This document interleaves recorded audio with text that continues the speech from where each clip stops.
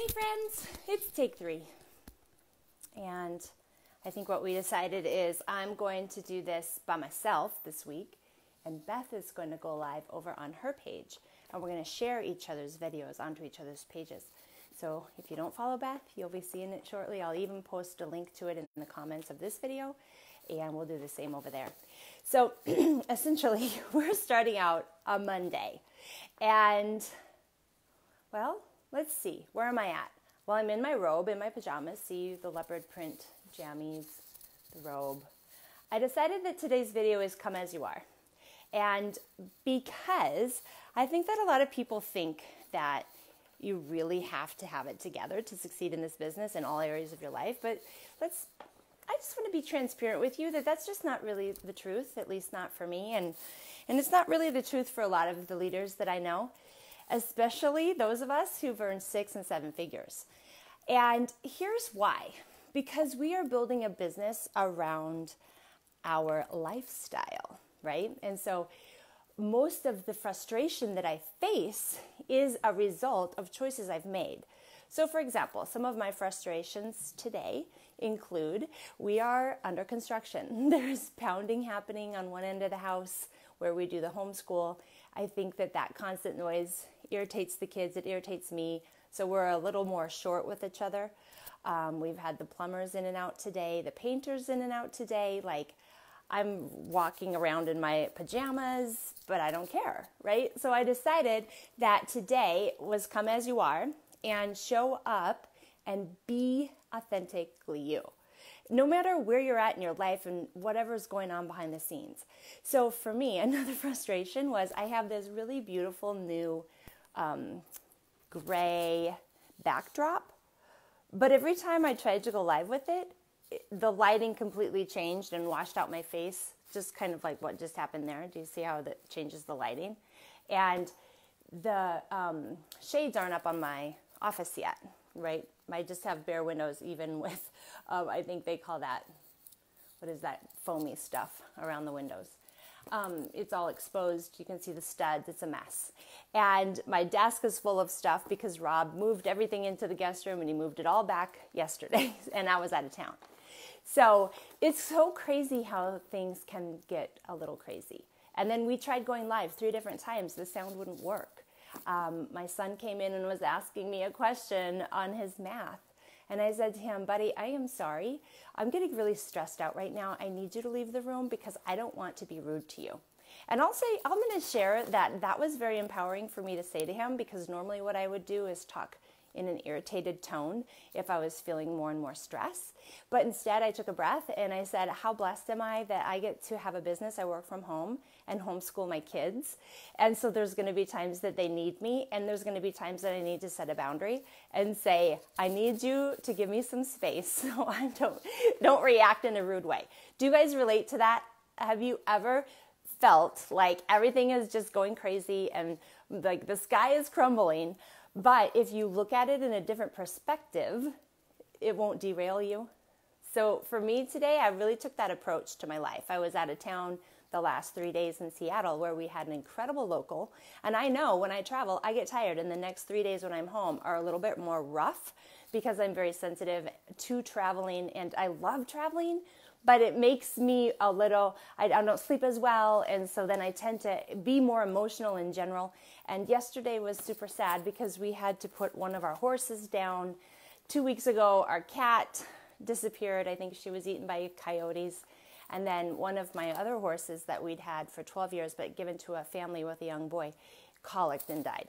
So, in the last two weeks, I'm telling you, things in my life have been a little crazy. We've lost three of um, my heart, soul animals, and I've been traveling, and we had the holidays, and, and, and, and, and, right? But so much gratitude because, again, we created the life that has created some of the stress. And so, always keeping the perspective that I played a hand in what I've created has given me the ability not to have a meltdown. And yes, tears were shed yesterday and sadness, and that's part of life. And so, thank you for your heartfelt messages. I've received a lot of them from those of you that I shared that with yesterday.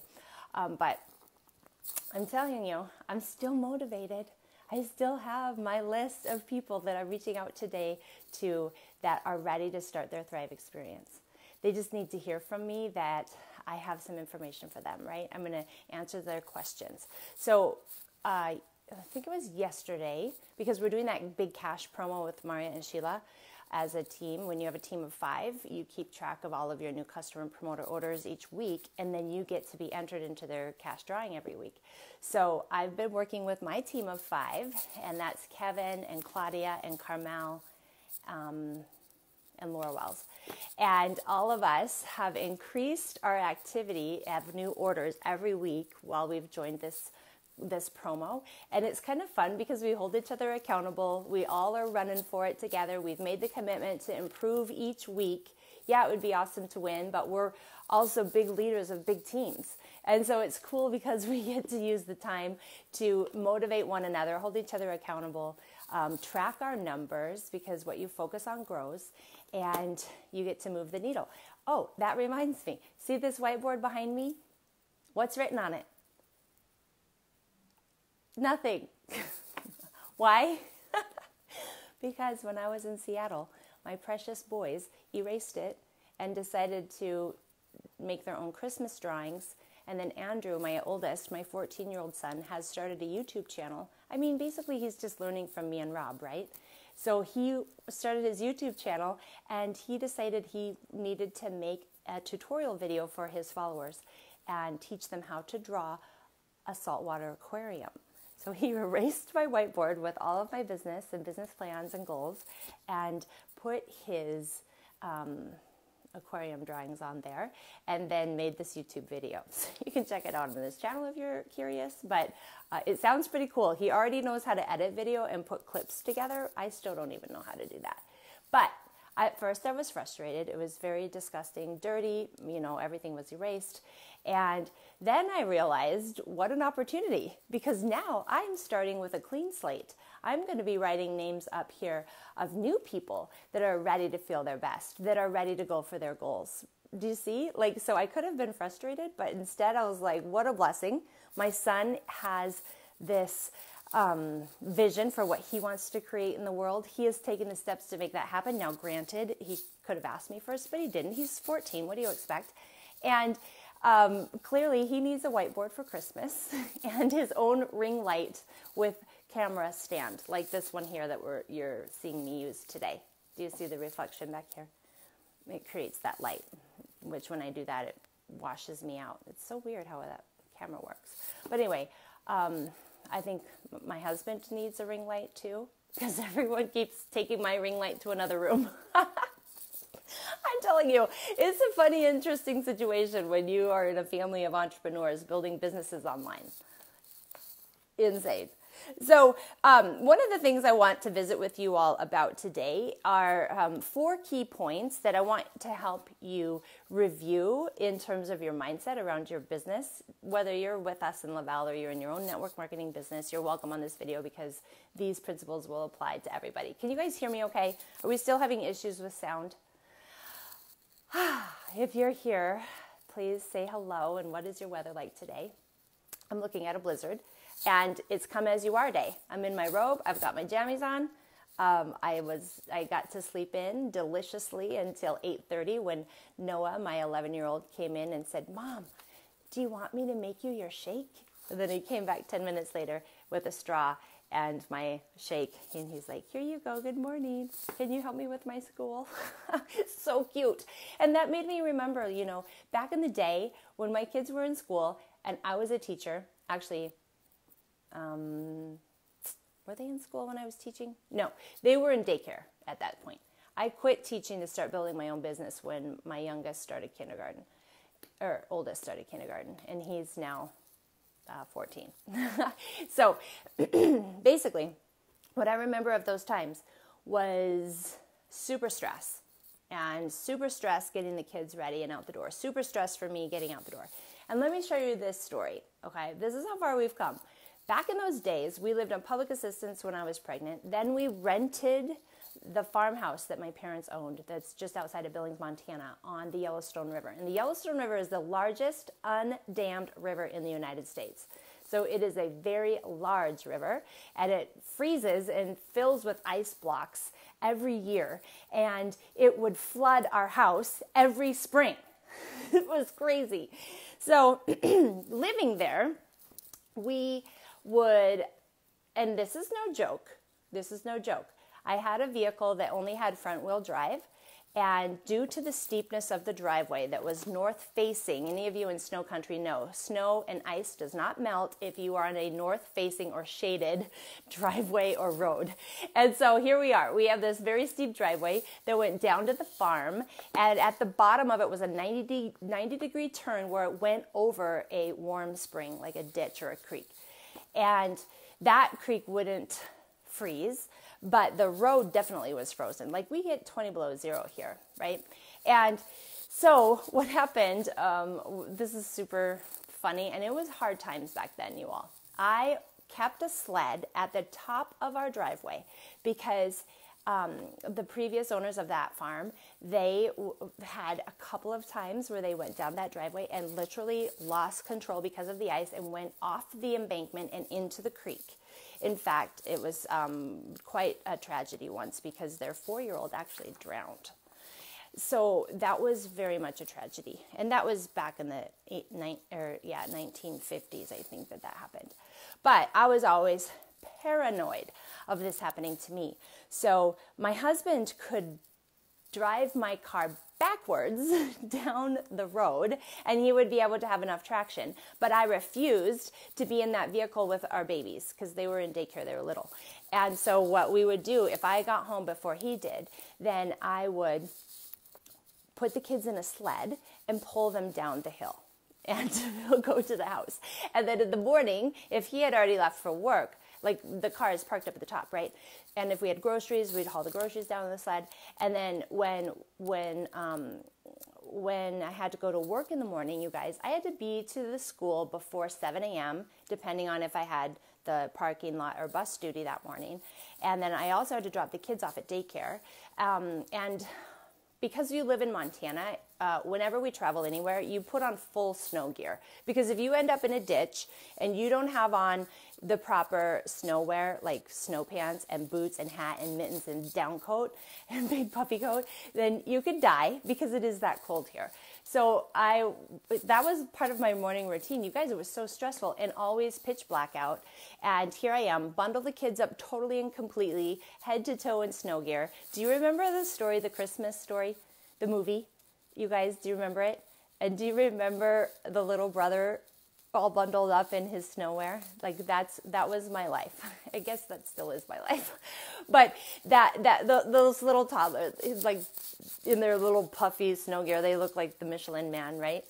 then, so I put them in the sled, and I have crampons on the bottom of my boots so I don't slip down the ice, and I pull the boys up the sled up the hill every morning, and the driveway was a quarter mile long. This isn't like just a little walk down the block. No, this was serious work. So I'm like sweating and like trying to make it to the top. Um, I know, right? No, thank you for me. I agree, Crystal. But at that time, we didn't have an, another option. We couldn't afford another housing situation. We had to make do. We had to bootstrap it, literally bootstrap it. And that gave me this mindset of I can do anything I set my mind to okay? And I had to make it um, up the driveway and get the kids strapped into the car and then go down the road to teach. And here's the crazy thing, you guys, mind's blown. Are you ready? Like, my kids are in daycare and I'm teaching. And at the end of the day, I made $10. 10. I can't even believe it. You guys, our grocery bills back then were a lot smaller because Rob would hunt and I would grow food in our garden. Um, we would go to the food bank to get food. And I mean, that was our life. And the $10 would help pay for the gas to get me to and from work. I mean, I was looking at it as I'm building work experience, and at least I have enough money to put in my vehicle and to contribute some to the grocery bill or to shopping at the secondhand store. That's what we did. And it was just the way things were. but I had this vision. I knew that we were meant for more, and we were we were very resourceful, and that we were very tough, and that we could create anything we set our minds to. I started to cultivate that mindset at that time.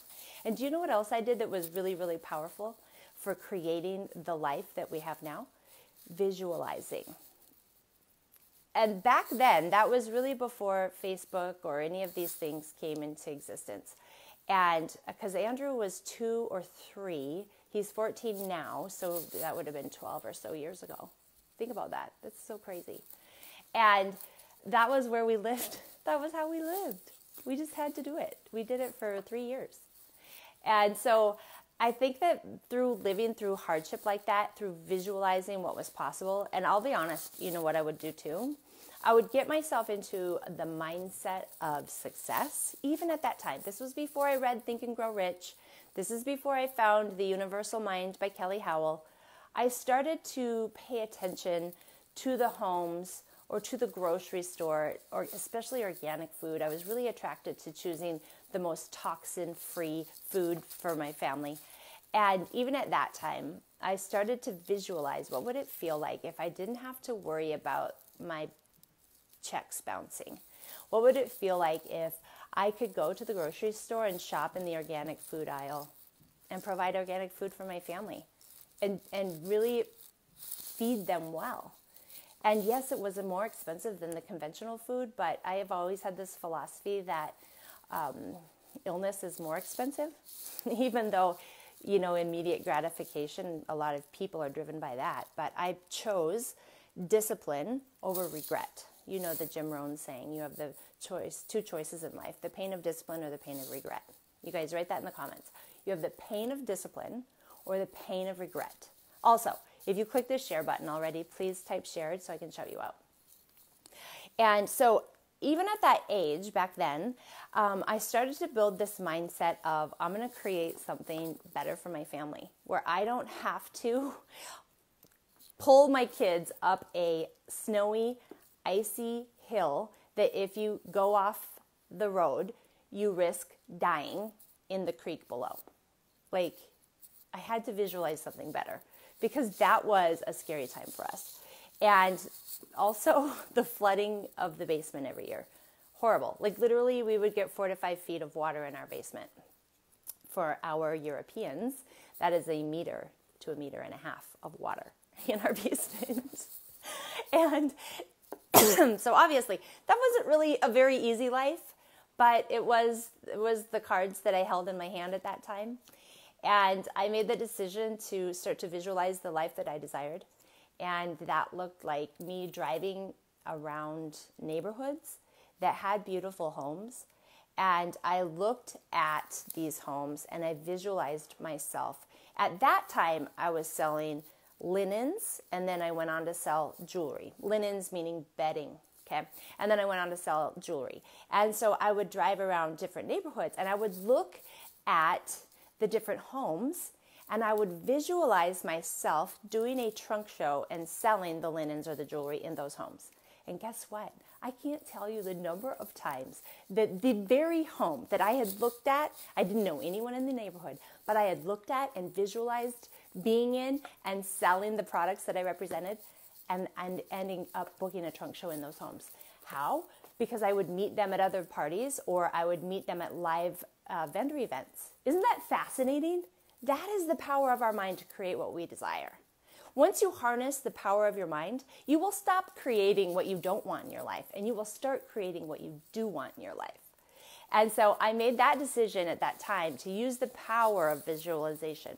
And I would just visualize what would it feel like to arrive.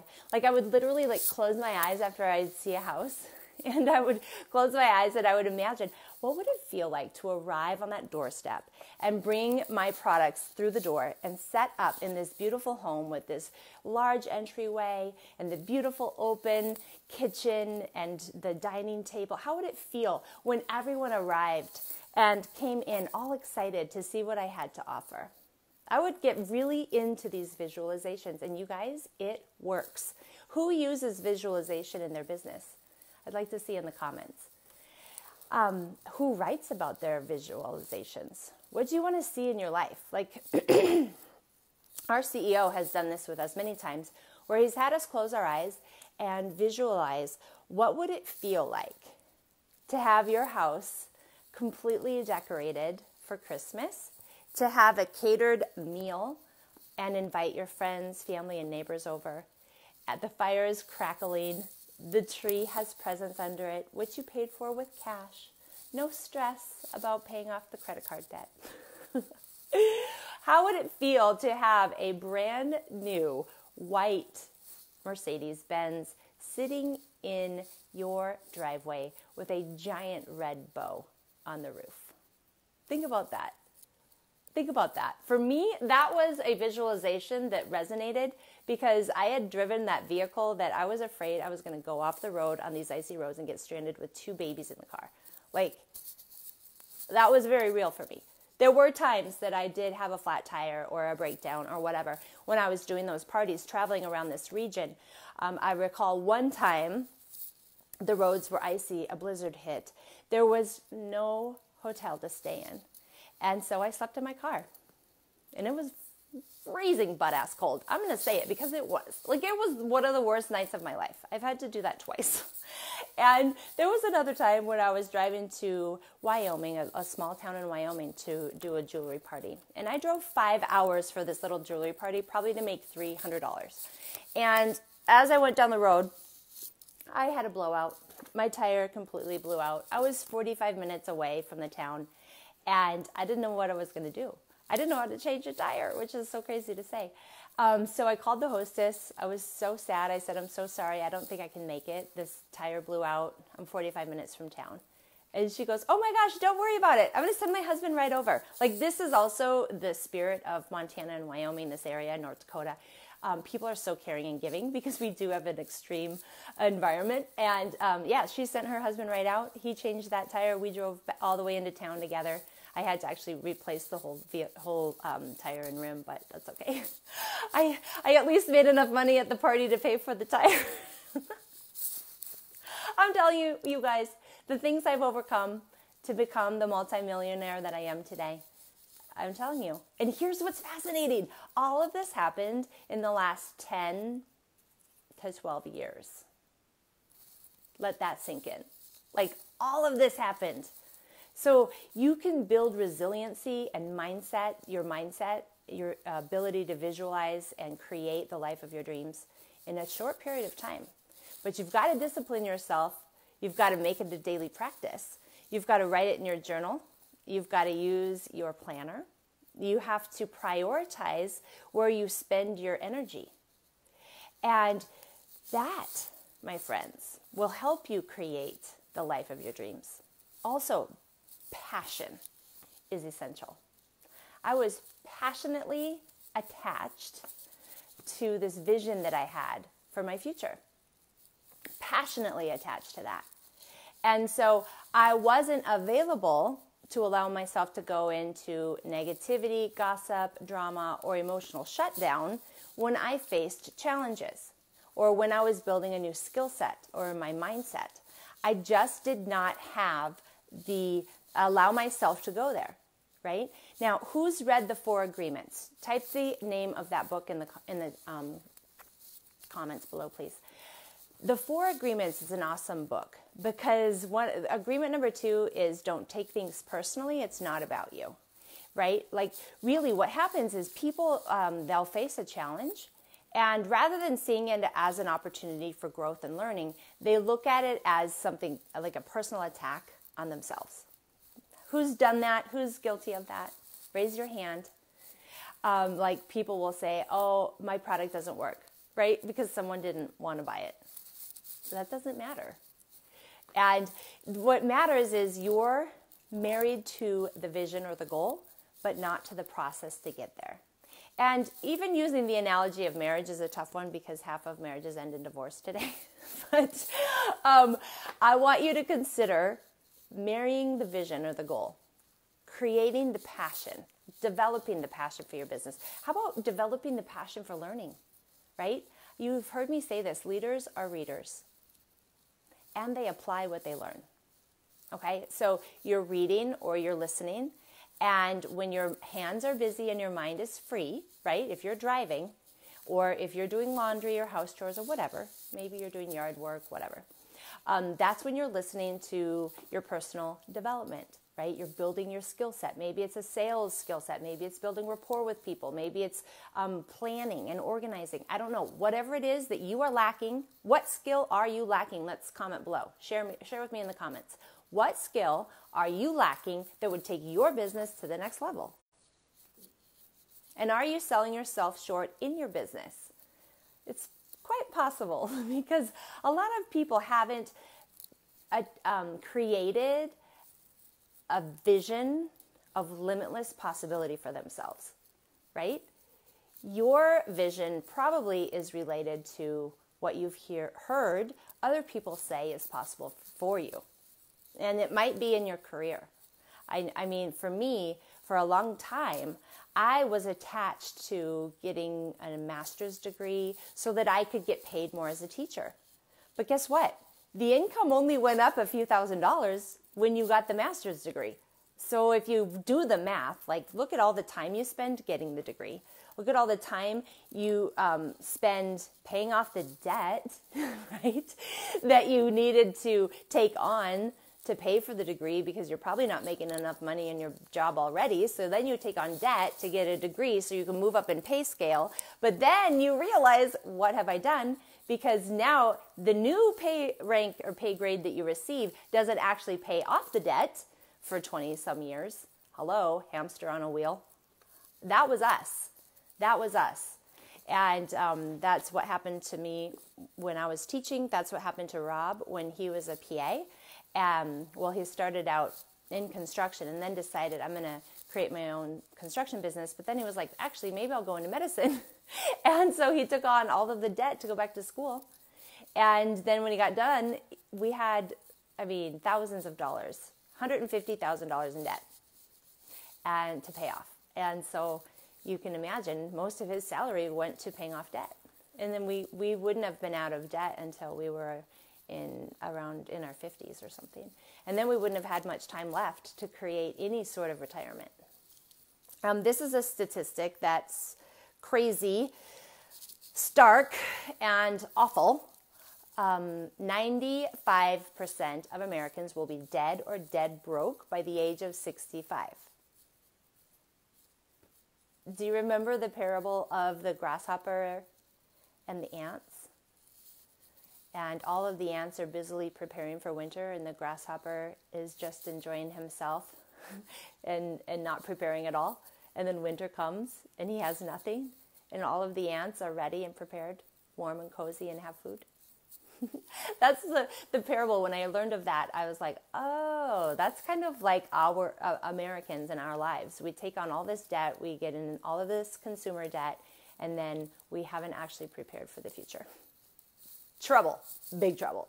So, um, one like I like go back to what I said. That mindset you're developing is your passion for your business and a commitment to your business, right? Commitment to your business. Like fall in love with your business. I don't care what your business is. It's what's creating income for you right now. So fall in love with it. Be passionate about it. Have a vision of a minimum of 2 years doing it. Have the good attitude. I love this quote and it's by Goethe. For a man to achieve all that is demanded of him, he must regard himself as greater than he is. Right? I love that. Uh, let's, let's change it to for one, so it can relate to men or women. For one to achieve all that is demanded of themselves, they must regard themselves as greater than they are. It's true. You have to look at yourself as the person that you will become in the process of being financially free. And you've got to really be careful of the emotional triggers. That's why journaling is so helpful because when people journal, they can address the emotional triggers. They can see that, yeah, emotional triggers are part of doing life, they're part of building a business.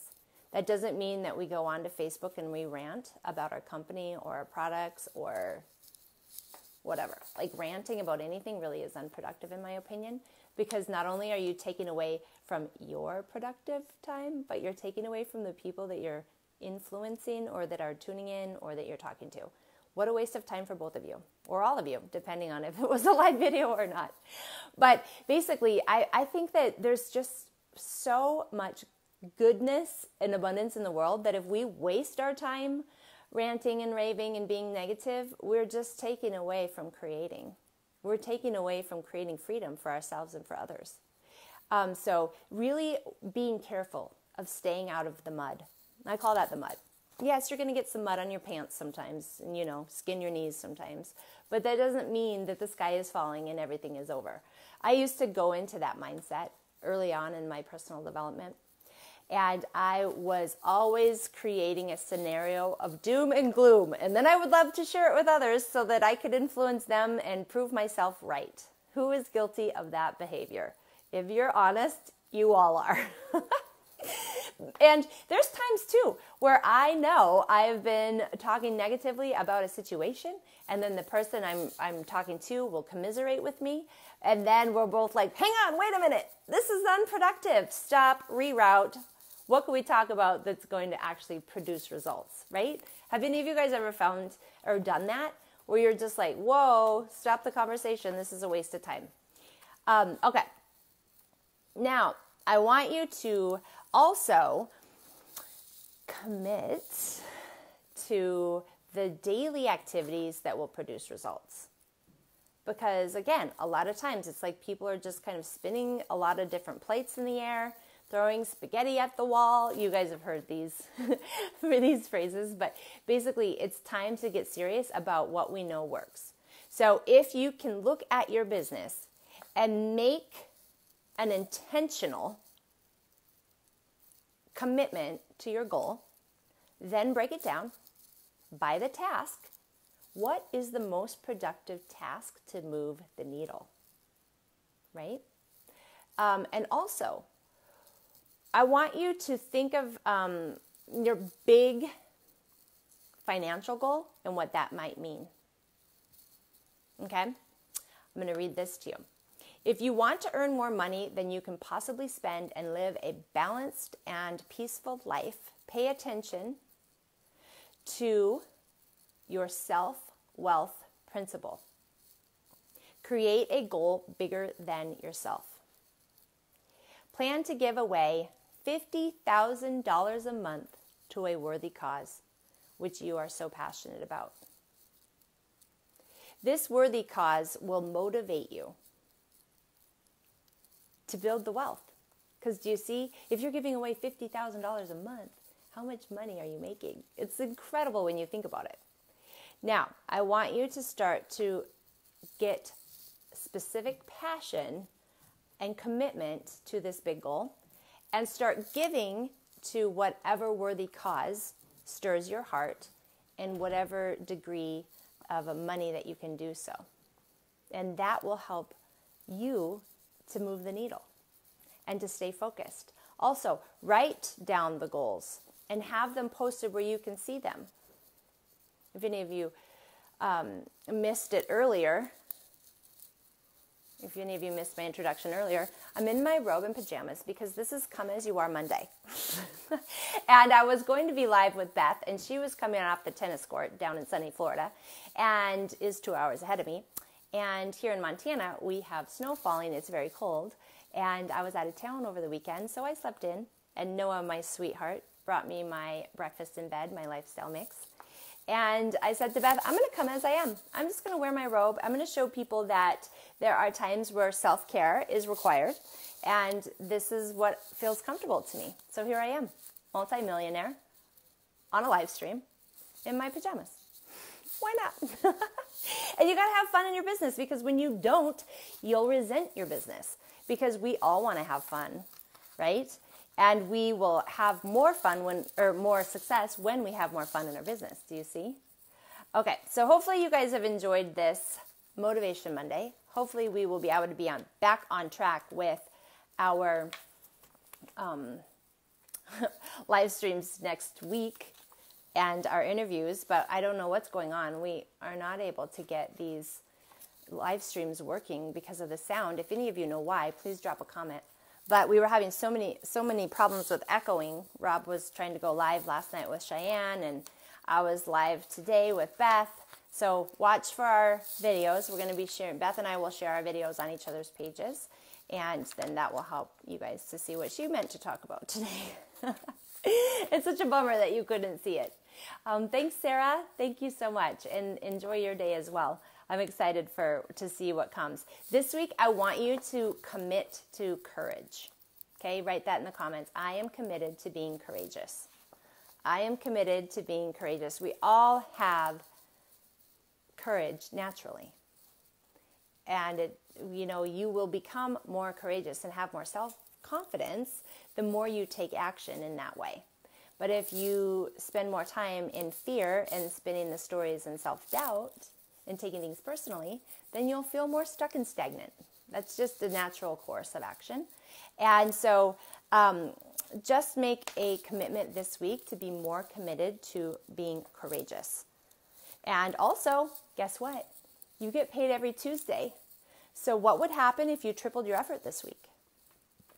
What would happen if you reached out to three times more people, helped them get started? What would happen? Your paycheck would reflect it come Tuesday next week. That's how incredible this business is. Is it doesn't matter if you've taken some time off or you've gotten emotionally derailed. You're back now. You're watching these Monday motivations every week. You're tuning in. You're showing up. So here's the thing the question is what would happen if I tripled my effort this week on what matters? Because that's the other piece. A lot of people will say, Oh, I'm working and I'm working really hard, but they're not spending the productive time in the productive tasks. Do you see? They're kind of just spinning their wheels and then they get burnt out as a result. So, type that in the question in the comments then. What would happen if I tripled my effort? what would happen? And if you committed to tripling or even doubling your effort this week, would you do it every day? You have to write this down. You have to get committed to it. Write it down. I will triple my effort every day this week, or I will double my effort for the next two weeks straight. See how it goes, reevaluate, and then may, I might triple my effort for the last two weeks of December. I don't know, but it's up to you. You have to make a plan. If you don't have a plan, someone else will plan your life for you. Okay? So that's how you create freedom. Okay, thanks for tuning in. I hope you guys enjoyed today. If you did, please drop a comment and let me know. And I am looking forward to seeing you all again on Monday of next week and with our next interview. And I might have to try it with Beth again because we weren't able to go live today. But I will share her video in my comments here so that you can catch that as well. So thanks for tuning in, and I hope you guys have an awesome Monday. This is uh, going to be an incredible week according to what you believe, what you think, and what you do. And my final piece of homework for you is for you to go and get Think and Grow Rich for Network Marketers on iTunes and listen to that this week, specifically listening to chapters one and two. And if Blair Critch was on here, she would say, watch the movie Think and Grow Rich. It's on Amazon Prime. And she watches it every single week these are two these resources are um, something that i've done now for the last seven years and truly it's i see results of people that apply this to their lives and really truly believe it. And they act in faith they take inspired action and it works. Okay? So who's committed to think and grow rich? Type that in the comments if you are. And i'll see you on monday next week. Talk to you soon